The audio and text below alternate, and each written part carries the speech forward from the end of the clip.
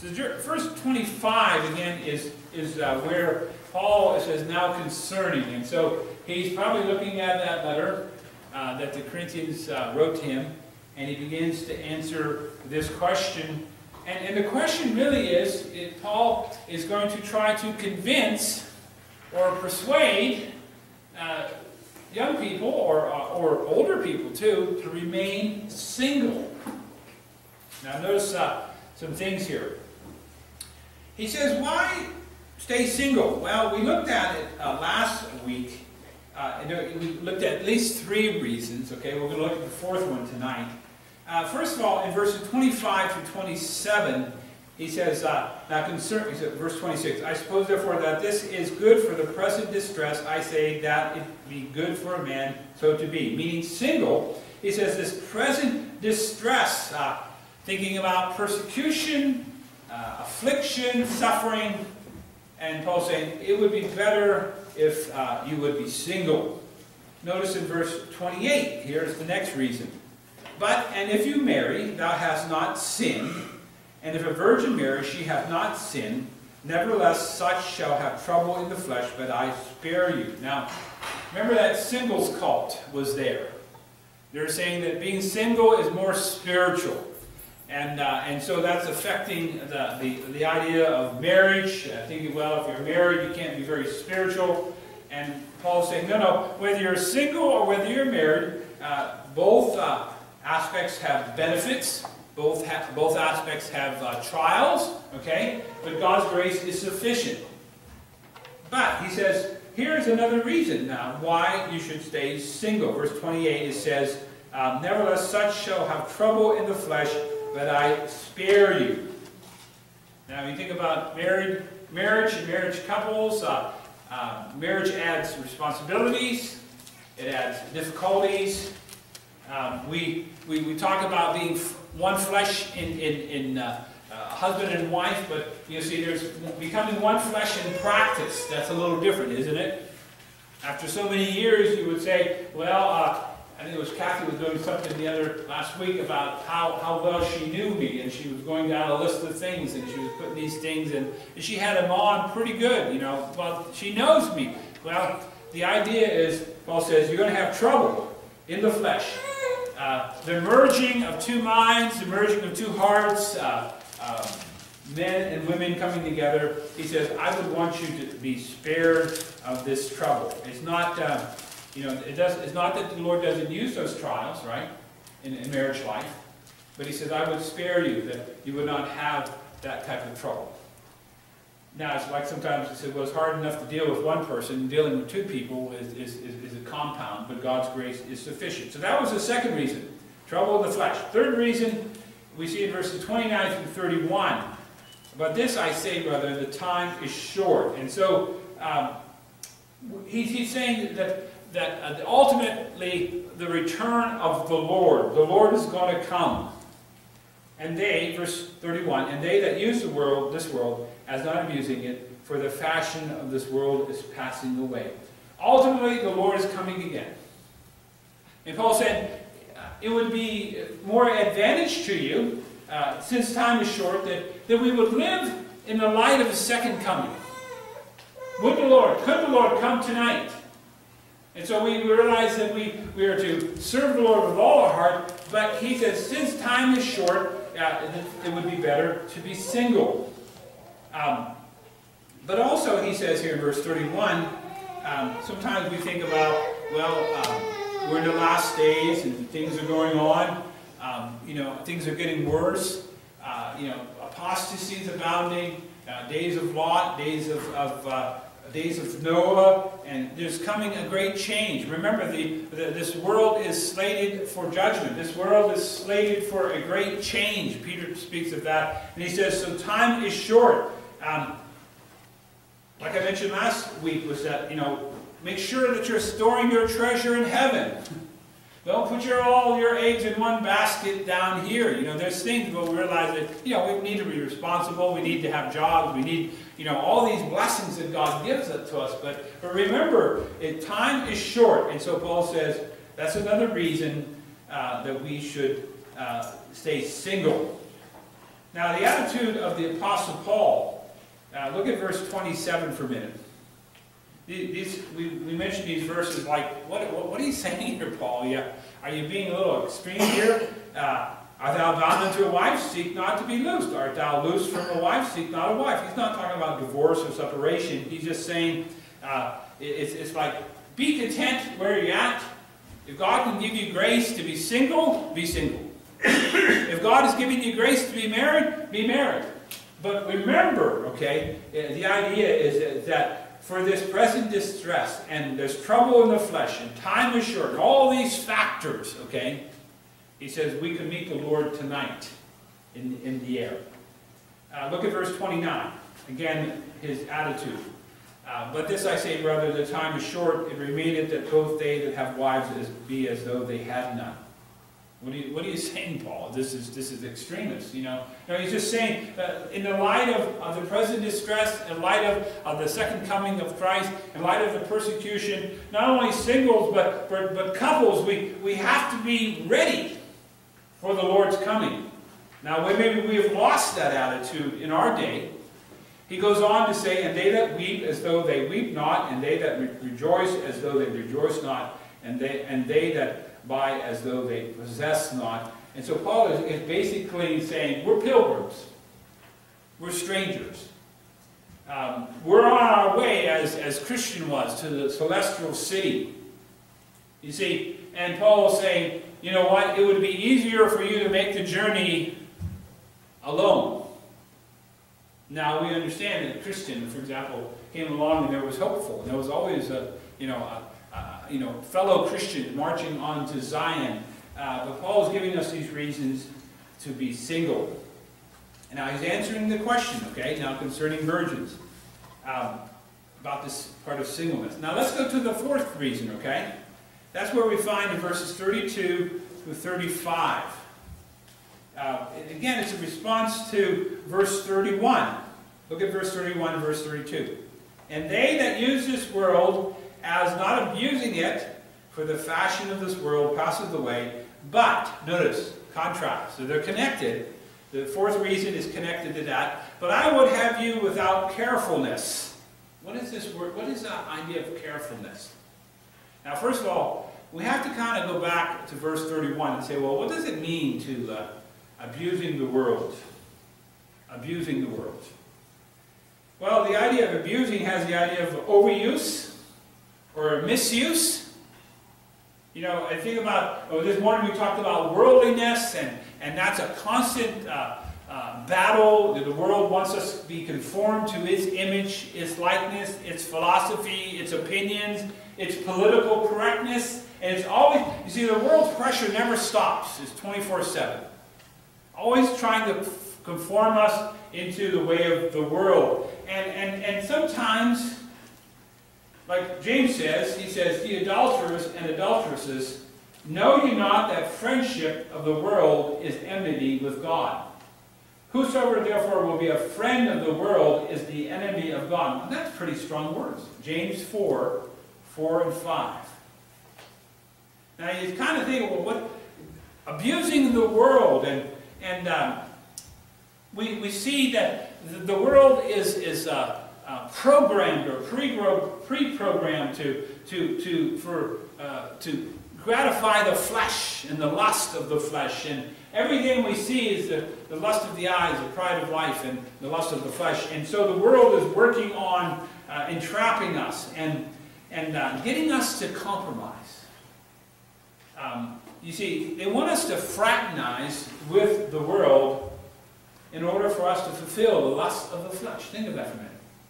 The world, uh, you know, it's okay to be a Christian, but, but don't be uh, a zealous, on fire for Christ kind of Christian. You know, you know, maybe, uh, you know, Lot was not so bad. You know, he, he was there in that city, and he was a witness, and he was a judge there, and, and uh, you know, he still witnessed for Christ. And so sometimes we fraternize we, with the enemy, and we kind of look at, you know, you scratch my back, I'll scratch yours kind of thing, and, and, and, and that's, that's the way the world is. And sometimes we, we wake up, we realize, how, how I get this in this spot being a friend with the world? You see, You know, when, when the devil said to the Lord Jesus, he said, all these things, Matthew chapter 4, all these things I'll give to you.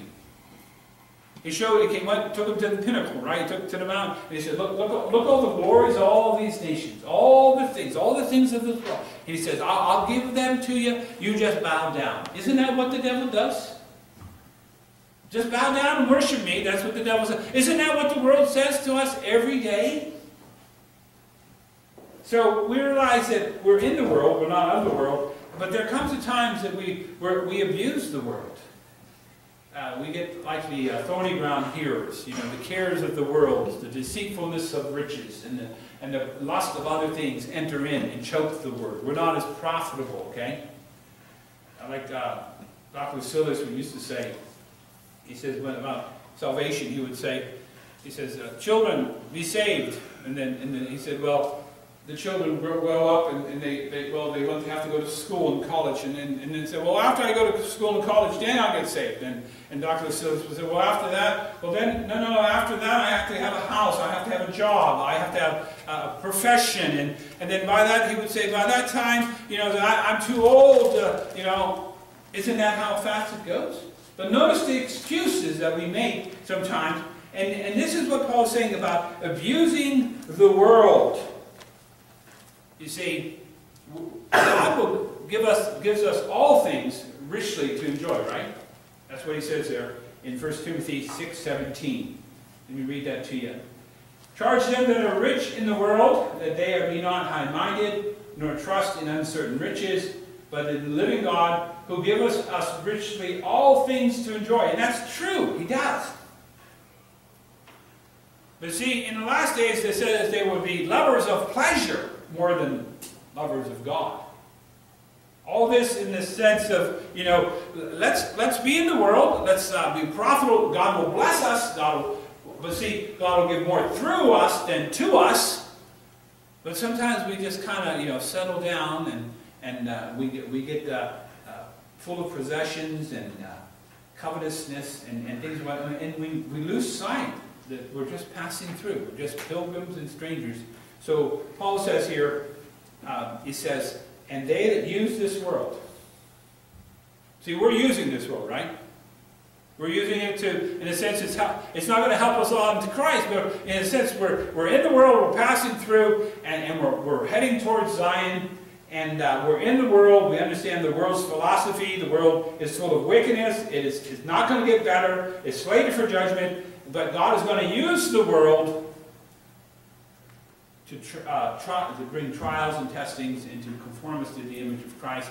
But he says there, and they that use the world, whether it's, uh, well, God's going to give me a good job. That's okay. God is going to give me a good job, but I have to live in the world, and I make sure the world, the, the job doesn't become the idol, right? Or I, am going to have the education, or I'm going to have this house, or I'm going to have this, you know. Again, uh, the idea is that um, for the fashion of this world passes away the goal that we hear often, and it's a good goal, it's um, Matthew 6, 33. But seek ye first the kingdom of God and his, and his righteousness, and all these things shall be added unto you. Um, another verse that I was thinking of, where Paul says to Timothy, he said, No man that warreth entangled himself with the affairs of this life, that he may please him who hath chosen him to be a soldier. You see, the world wants to entangle us. The world wants us to get us sidetracked and get us uh, off the main purpose. And so Paul says, no, no, we are in the world, uh, we're going to use the world, now abusing it for the fashion of this world passes away. Everything is going to be gone. Are you storing in heaven? Young person, listen, are you storing your treasure in heaven? Are you seeking Christ? If not, uh, you know, it's okay to have all these things, but the Lord Jesus says, remember, our life doesn't consist of the abundance of things that we possess. After a while, what happens? They possess us. And that's what Paul's saying here. But notice how we apply that to this word carefulness. Look at uh, uh, verse 32. But I would have you without carefulness. Now, what is Paul saying? Well, the idea is the care of the world, or, or the idea is anxiety, carefulness. Now, notice what he says there. Let's read verses 32 to 35 again. But I would have you without carefulness. This is the fourth reason for singleness. He that is unmarried careth for the things that belong to the Lord, how he may please the Lord. But he that is married careth for the things that are of the world, how he may please his wife. There is a difference also between a wife and a virgin. The unmarried woman careth for the things of the Lord, that she may be holy both in body and in spirit. But she, but, but she that is married careth for the things of the world, how she may please her husband. And this I speak for your own profit, not that I may cast a snare upon you, but for that which is comely, and that you may attend upon the Lord without distraction. So this word carefulness has the idea of anxiety, or what we talked about in uh, Matthew 13, 22, about the care of the world. The parable of the sower. Remember the seed that fell among thorns. Well, what happened? The Lord says this, He also that receiveth seed among the thorns is he that heareth the word, and the care of the world and the deceitfulness of riches choke the word, and he become unfruitful. Now, being married, we talked about how that has demands and obligations. Look at verse 33. But he that is married careth for the things that are of the world, how he may please his wife, and, and vice versa. Uh, the, the, the, husband careth uh, for the wife, uh, the wife careth for the, the husband, and, and, and notice this connection uh, about the care of the world, okay? Now, we're not talking about worldliness. We're talking about a man and a woman, uh, or, a man leading a, leading a wife, having a family, okay? Um, and there, there are needs. There are things that you have to take care of. You know, you have, you have a family, you have a place, you need a place to live, you need to have a job. All those things, and now you have all those extra mouths to feed, okay? So here, it, it, it's, um, there's extra demands, family demands, obligations. The husband wants to please the wife. The wife wants to please the husband. And, and, uh, and it's not, again, it's not worldliness that we're talking about. It's just that there, there are responsibilities, obligations. Now notice here. It says careth for. Careth for. Uh, Matthew 6, 25. Let's, let's turn there for a minute. Matthew 6, 25 this carefulness, uh, the Lord speaks about in, in a different way, not in this matter of a family, first of all, but in a sense of the things of the world.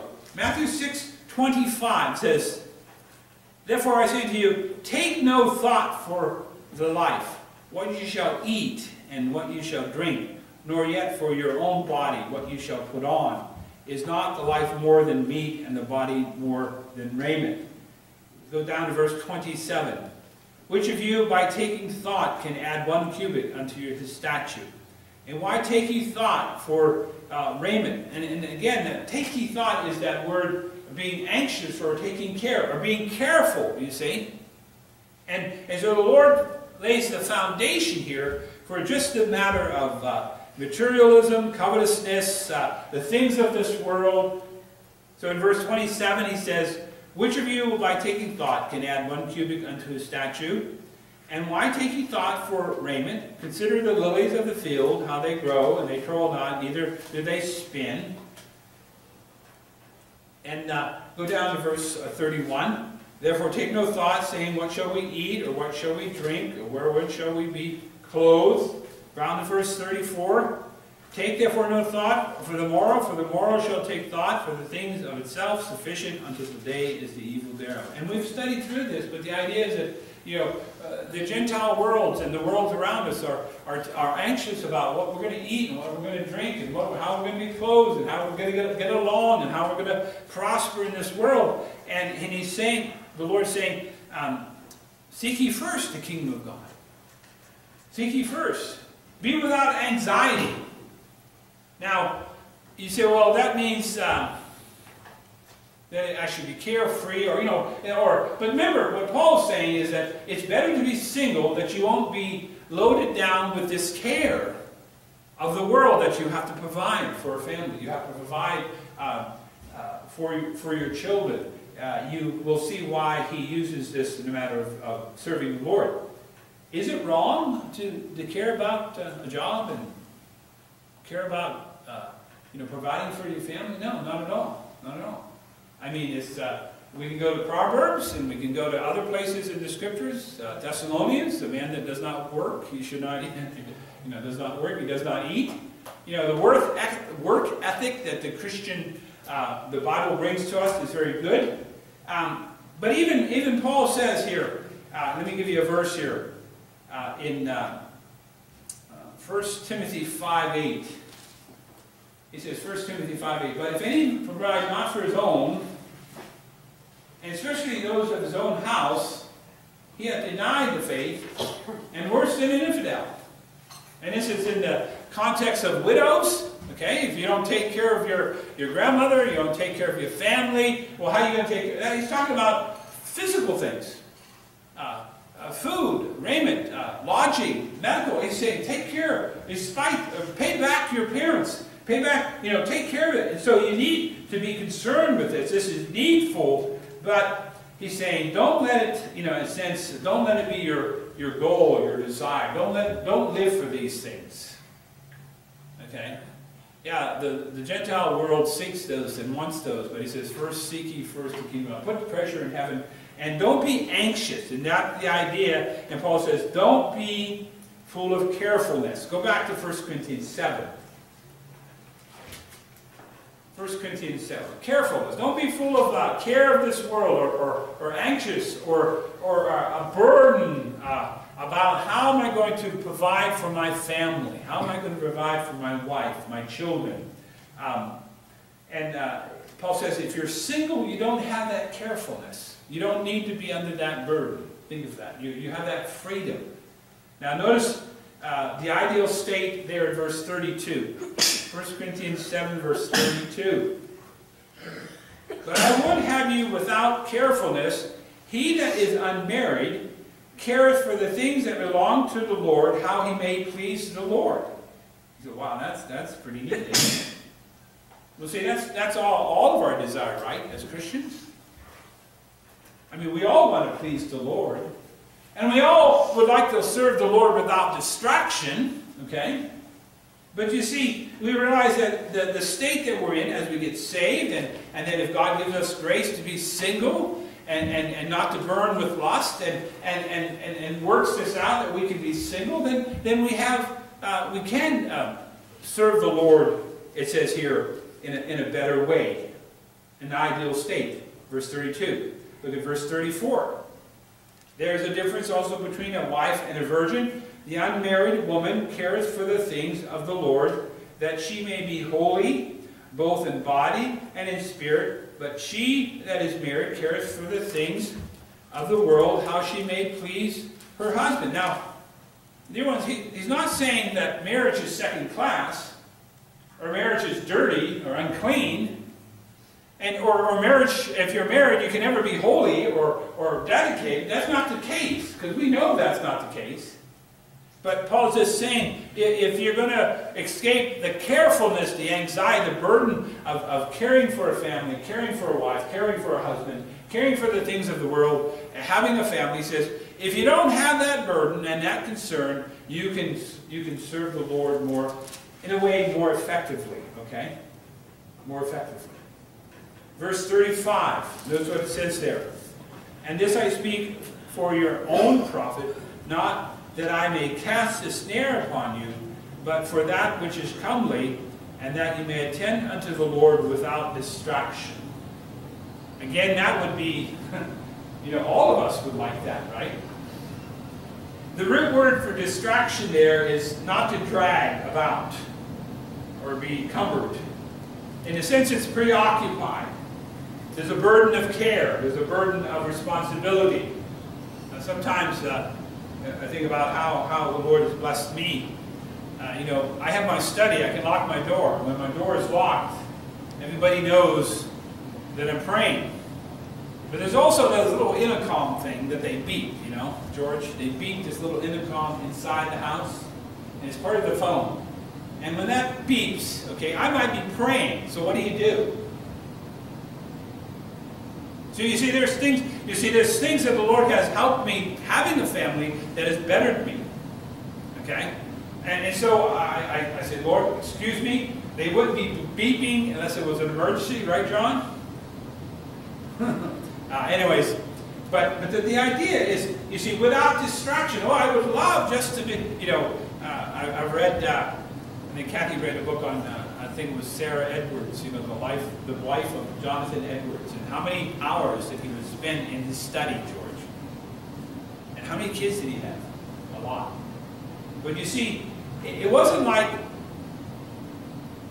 it wasn't like that he, uh, you know, he was able to serve the Lord without distraction within within the limits of, of having a family. And that, that, that's special grace. You, you got to have special grace to do that. But it's possible.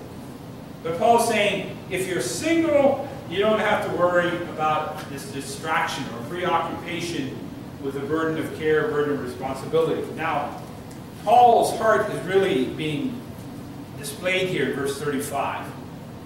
You see, you see, you know, I want this for your own profit. You see, he says, verse 35. But if any man think, uh, but this I speak for your own profit. He really has a heart for the, for the uh, Christians. He wants them to serve the Lord. He wants them to prosper in the things of God. He said, not that I may cast a snare upon you. But like, you know, I don't want to put no guilt trip on you. Uh, I don't want to, uh, no more, uh, no moral obligation. You know, is, is not that you, if you're single, you're more spiritual. That's not true. Or marriage is a drag. That's not true. He's just saying, God will give us grace, whether it be single or whether it be married. But Paul says, I prefer my own state. I like the way I am. Now, some people say Paul was married. I don't know. There's some verses that say that. But Paul's saying here in 1 Corinthians 7, he says, I like everybody just to be like me. Single and serving the Lord. And these are some of the, the, the uh, he says, this is why I say to you to be single. Now, he says here also in verse 35 about, for, but for that which is comely, okay, and that you may attend upon the Lord without distraction. The word comely means there is a high calling. There, there's a blessedness. You know, we think of uh, those that uh, devote themselves, or, or the widows there in, in 1 Timothy chapter 5, those that, that devote themselves to prayer and fasting and serving the Lord. Young people, listen, there is a high calling for you. And it, and it can be as you serve the Lord without distra distraction. Is there an advantage to being single? Well, yes. To serve the Lord without uh, being divided uh, with, or under the burden of care, concern, or distraction. Uh, to attend upon the Lord. Now again, we all want to do that, don't we? We all want to attend and serve like, like believer priests and, and just stay there. Uh, we, in a way, we all like to be like Mary, right? We like to be there sitting at the Lord's feet and, and, and soaking in the words and, and enjoying the fellowship of the Lord Jesus. But there are sometimes you, there, there's a need to be a Martha too.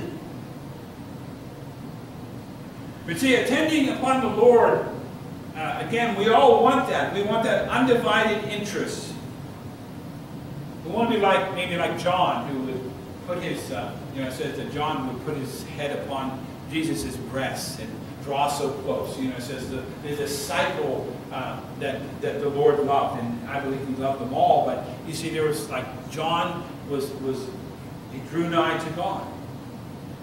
See, undivided interest. Remember, uh, time is short. We need to redeem the time. Remember, uh, attend upon the Lord without distraction. The world is passing away. And what Paul is saying to these young people or, or to these single couple, single uh, people here, older people, he's saying, travel light. Don't have a lot in your backpack. You don't have to be back, bogged down with the cares, okay? Now, again, it's according to God's grace. According to God gives you a gift to be single. It is, you have to be you know, it's uh, there's a lot of uh, uh, traps, there's a lot of uh, issues with being single that, that marriage helps, but, but again, redeem the time, the world is passing away. Travel light, store treasure in heaven. And I just want to kind of conclude this with, what are the benefits of family life for me? Well, think of this for a minute. Um, serving the Lord in whatever area, whatever condition uh, that the Lord finds you in. 1 Corinthians 7, 24. Okay? I mean, so this is the principle. He says, Brethren, let every man wherein he is called, therefore abide with God. Abide with God. You see, um, I think as I applied this to my own self, you see, uh, well, are you distracted? Uh, is there a burden in being married? Is there a burden having children, uh, having a wife? All these things, maybe you don't like to call burden. There's carefulness, there's concerns, there's responsibilities. But I, I believe the Lord helps me uh, through serving my family, from serving my wife and serving my children in order to serve the church better. Now, Paul says, uh, one that ruleth well his own house, having his children in subjection with all gravity. For if a man know not how to rule his own house, how shall he take care of the church of God? And I'm not saying that, that every minister needs to be married. But there's a lot of times that, that my children and my wife and, uh, and my family situation is, is what has taught me a whole lot about the ministry. About caring for people, uh, leadership, things of that sort. Um, having that great uh, privilege of, of uh, displaying Christ and the church between Christ myself and my wife, and then having children, and, and seeing uh, how God uses my children, sometimes to humble me, sometimes to bless me, sometimes to frustrate me, yeah, for sure. But, uh, but that's all part of family life, right? And uh, that would never be there if I was single. You see, I can go home, and I can go to my castle, right? Surrounded by my loving wife, my children. I'm alone, you know, four walls with those that love me. Now, you know, sometimes, you know, I, I dread the idea of, of a wife or a woman going to work, okay?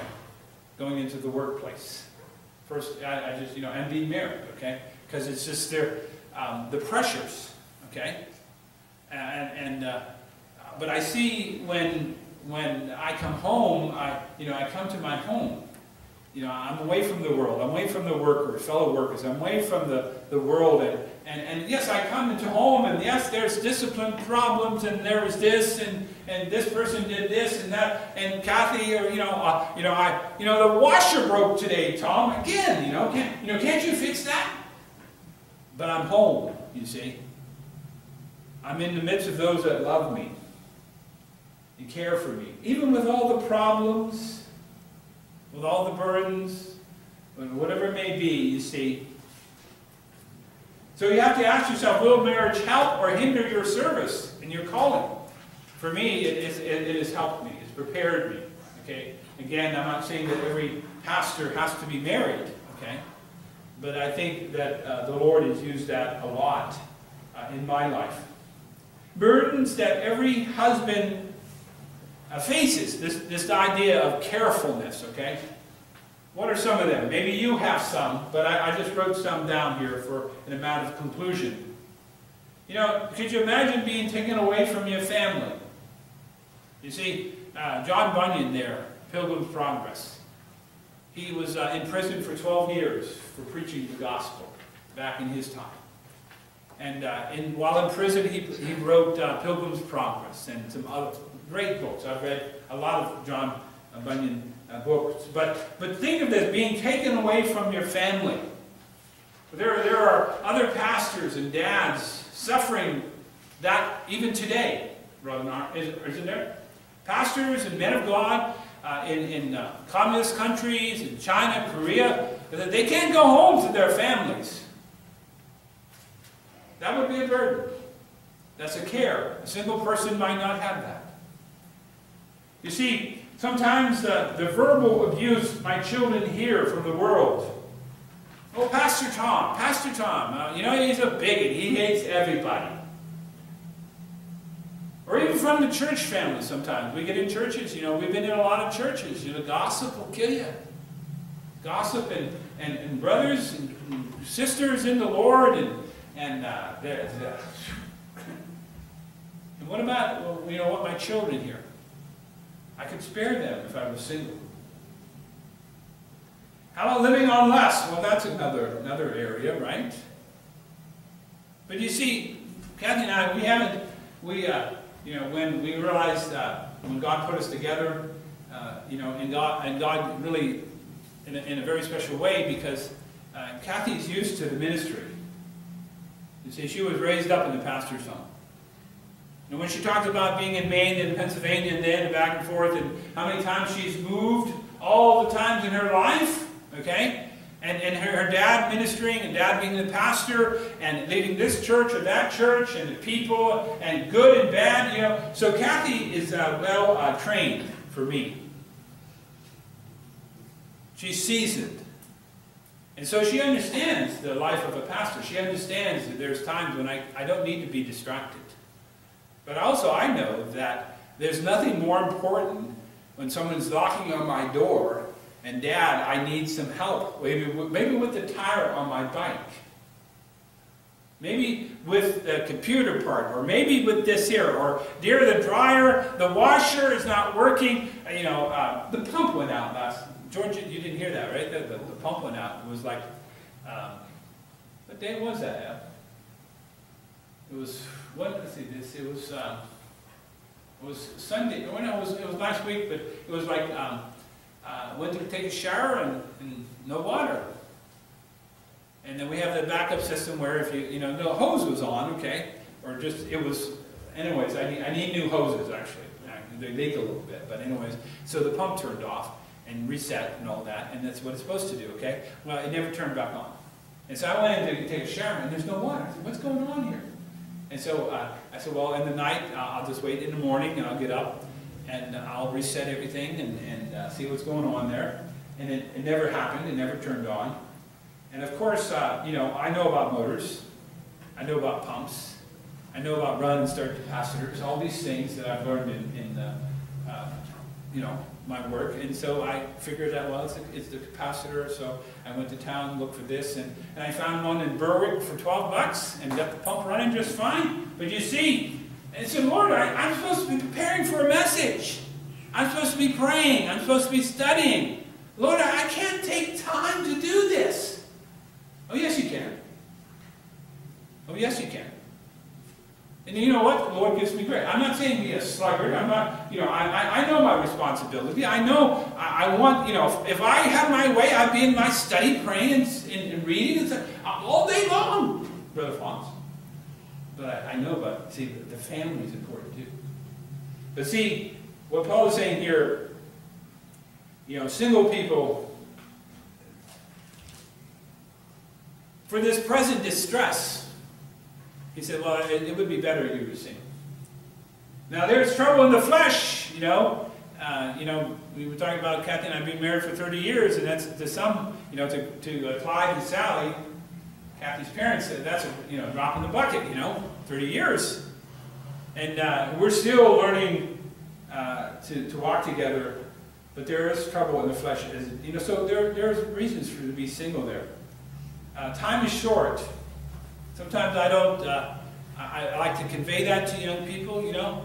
Uh, but they say, well, I, I, like to have a family. I like to have, a, you know, I like to be married. I like to have children. And, and I, I can't say to them, well, you know, be single. If God gives you grace and He gives you the gift of singleness, then if, if, if it's for the purpose of not, you know, advancing your career, okay? But if it's the purpose of serving the Lord and serving the Lord without distraction, and, and you know, there, there, there are needs in a church that young people you can, you can meet. Helping this person, helping that person, doing this, doing that if you were single. And so, yes, time is short, so it would be better if you were single. And this, this idea of carefulness, okay, um, it, it, can be, it can be uh, quite frustrating, quite demanding, but it rewarding, isn't it, brother? When we see, you know, your families and, and your children, and, and God always, eh, for me, He gives me grace. Notice here in, in verse 28, as we, we kind of just wrap it up, just some points here. Notice it says, but, but and if you marry, thou hast not sinned.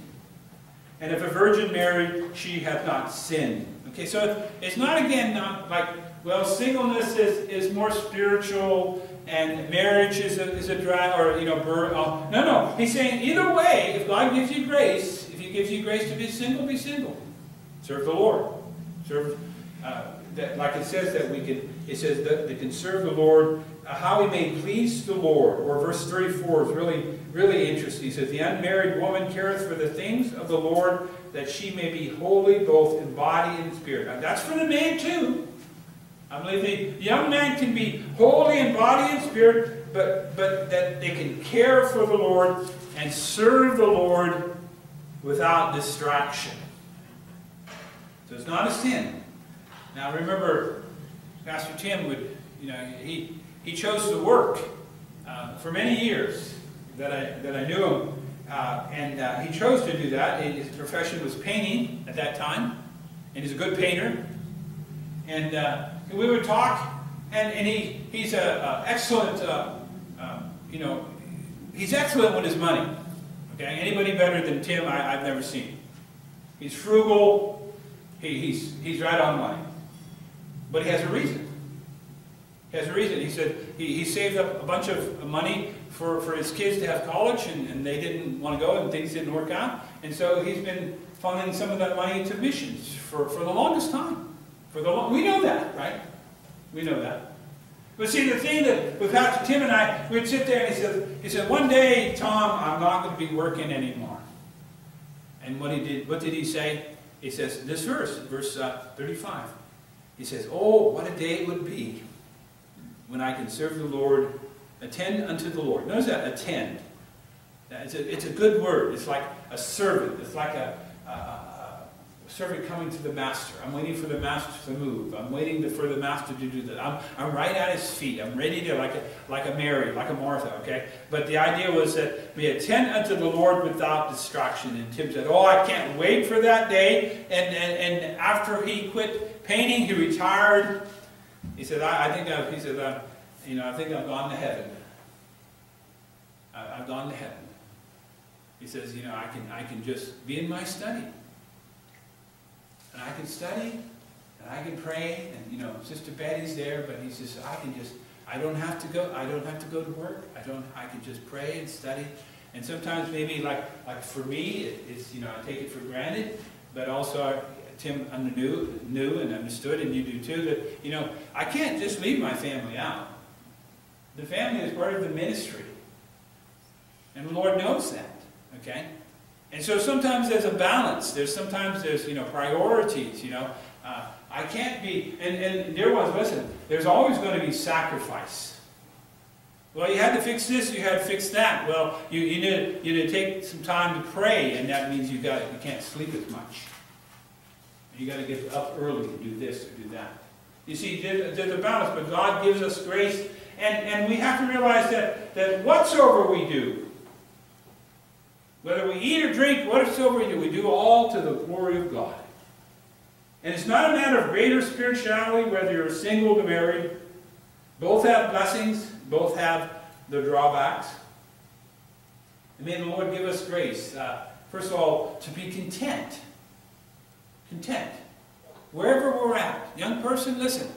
Well, uh, I, I, desire to be married, uh, and, and young people, listen, we do pray for you. Young ladies, young men, we do pray for that spouse, for that, that right Mr. Right and Mr. You know, you know, we think that's the, you know, the second most important thing in your life is to be married to the right person by God's grace and to serve the Lord together, together. But you see, Paul says, Not that I speak in respect of one, for I have learned in whatsoever state I am, therefore, to be content. There's this, you know, waiting on the Lord. Oh, Lord. Maybe the Lord give you the gift of uh, singleness, and you could say, well, maybe I can go down and, and uh, teach like uh, Rachel and, and Susanna, or some things of that sort. I, I still have questions about young ladies going off to missions. I'm sorry, but that's the way I am. But I, I see where they're, they're in a capacity that they can serve the Lord. Or young men. Paul says, For we brought nothing into this world, and is certain we can carry nothing out. And having food and raiment, let us be therefore content. He didn't say anything about houses. He didn't say anything about families. But you see, dear ones, we must, whatever we do, whether single or married, we have to always, whatever we're doing, we have to keep our minds on the second coming of Christ. The Lord may come today. What, he, what will he find me doing? Will the cares and affairs of this world, worldliness, let's say, be so consuming?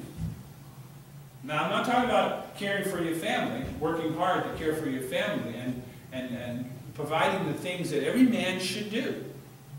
I mean, I, you know, I, I believe, you know, you work, you provide for your family. You work two jobs, three jobs, whatever you have to do. And, and, and uh, I know the men are like this, like that here. And, and, and, but you see, oh, to serve the Lord without distraction. God will give you grace, whether you're single or whether you're married, and you can do those things that please the Lord in your service to Him. Whether, you know, like, uh, like uh, what's her name, Wesley, um, Charles Wesley, and Susanna Wesley. She would, uh, she would cover her head with her apron, and she had a load of kids, right, children. She would cover her head with the apron and say, "Children, I'm praying now. I'm praying now. Don't disturb me." There's grace. There's grace. Let's pray. Father, thank you for this time. Thank you for your mercy, your goodness. And Lord, uh, to see these, these reasons why we should be single. And Lord, I pray you give understanding to our young people. And uh, Lord, uh, direct and guide them. Show them the blessedness of being single. Show them the blessedness of being married. And, and all things that we might serve you without distraction. We might uh, do those things that are pleasing to you. That as we're in this world, we would not uh, store up our treasures on earth. Uh, be like the world. And, and uh, Lord, uh, no, no. May we be uh, putting treasure in heaven as we serve you and as we serve one another. Lord, give us grace for these young people especially. And give us, all of us, Lord, and we might do those things that are pleasing in thy sight. And we ask these things in Jesus' precious name. Amen.